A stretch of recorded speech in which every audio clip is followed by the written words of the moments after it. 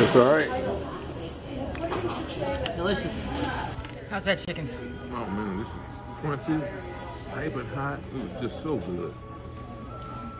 Man, me of being when I was a little kid in St. Louis, eating fried chicken in my grandma's house. But man, this was good. I'm glad we got the recommendation. But this was all right. I see you like them greens too. I did, yes. You didn't drink the bottom of the bowl. Mm. Man, to be, you know, show table manners.